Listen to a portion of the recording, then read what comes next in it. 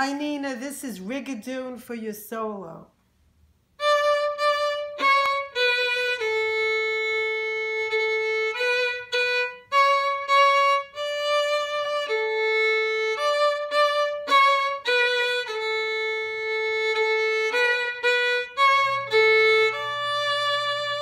Now on the E string, one and two touch and stretch your three.